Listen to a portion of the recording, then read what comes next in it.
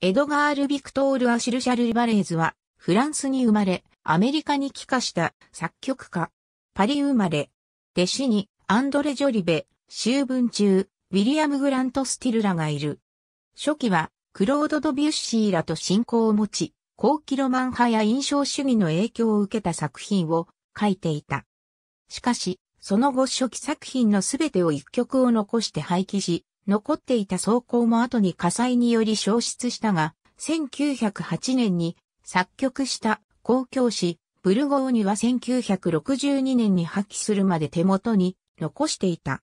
その後イタリア未来派、フェルッチョ、ブゾーニ、イーゴリ・ストラビンスキーの影響を受け、アメリカ以降、打楽器を多用した作品を多数発表。第二次世界大戦以降は、電子音楽も取り入れた。多数の打楽器の使用、電子楽器の使用など、それまでの音楽とは、はっきりと一線を画した斬新な音響空間は、後の現代作曲家たちに大きな影響を与えた。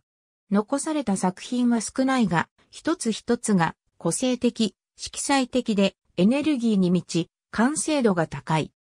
バレーズの音楽はピアノソロに変換、あるいはピアノリダクションの不可能な音響作品と評価され続けてきたが、スペインの作曲家、ホセ・マヌエル・ロペス・ロペスは、比較的リダクションの楽なオクタンドルをピアノソロに編曲した。エドガー・バレーズの名は、エドガーと綴られることも、エドガードと綴られることもある。エドガーであった場合、そのフランス語風の発音を日本語で表記すれば、エドガール、またはエドガルであり、英語風発音の日本語表記はエドガーとなる。